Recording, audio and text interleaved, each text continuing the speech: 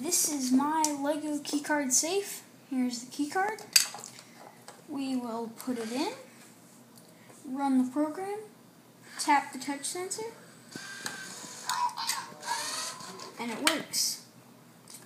We have some Nerf darts in here. We put it back in, press the touch sensor, and let's just use gray as an example. It won't work, okay? So we push it in, click the button, doesn't like it. And right here we have our port to charge it, and that's the top. That's it.